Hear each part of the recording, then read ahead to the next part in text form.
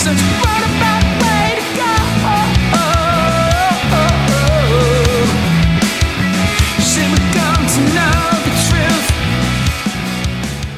How's it going? I'm Aaron Hallett. I write original Christian rock. It's morning. I decided to grab my acoustic. I came up with something on that, and then I was like, you know what? I'm going to do it on the electric guitar just because. So I grabbed this again. Anyway, I write original music and I started making the videos just to show you how I put my songs together. I literally come up with a few things, just run with whatever I first play in the morning or afternoon or whenever I pick up the guitar. I'll uh, follow a general song outline in my head and just piece things together and improvise a whole bunch. So I didn't even set the tempo. I got to do that.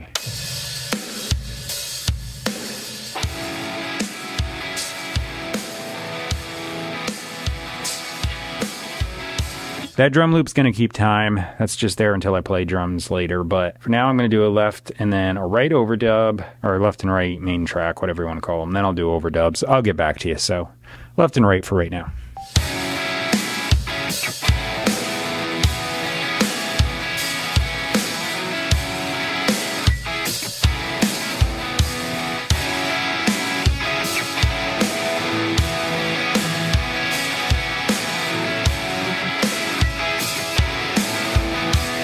I'm going to layer that with uh, left and right clean track.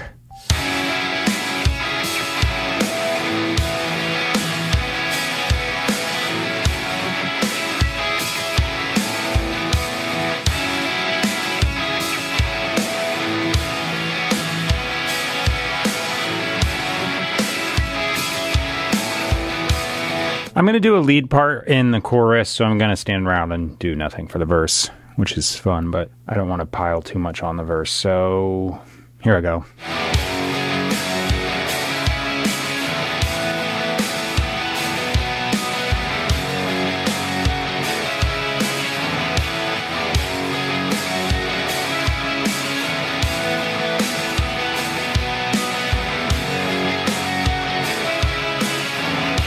Guitar solo is up next. Um, normally, when I do these, I always say I do verse, chorus, repeat three times. Oops.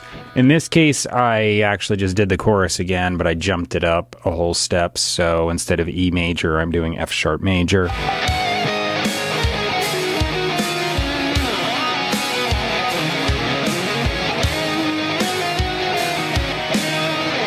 Bass is up next. I'm going to improvise something. Uh, I don't know what I'm going to do. I'm just going to improvise something, but I'm just kind of hearing something like bum, bum, ba-da-dum, bum.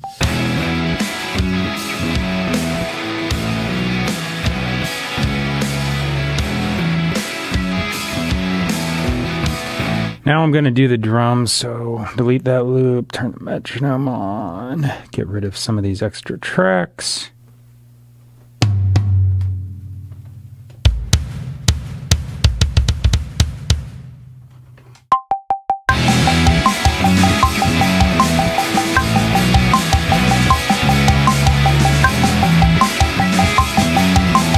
I just did the drums. Hang on a sec. Let me take this thing off. Uh, yeah, I did the drums, and I don't even know where it is in the song, but I uh, was like doing a fill, and I totally missed a hit on the tom. Like I got like the first one on the downbeat, and then the second one just went whoosh, nothing but air. I also uh, changed the end chorus, so I played it on the hi hat for some reason, and I'm not sure why. So I decided to change that last thing into a China cymbal just to give it a different texture. So I played it on the hi hat, like open hi hat, but then I was like, you know what? It's got a little different sound. It's probably confusing watching, but that's electronic drums. I can make it sound like whatever I want. I was just doing a little warm up. I came up with a chorus melody. I don't think I'll forget it. You know what, though? I'm just going to be safe. Okay, there we go. just I'll just keep it there just in case. I don't have anything for the verse, but I'm going to improvise it. Uh, monitors are off. I'm going to just start tracking vocals. Such a roundabout way to go. Should we come to know the truth? I think that's it. I'm just going to leave it as B or leave it as it is. Something like that.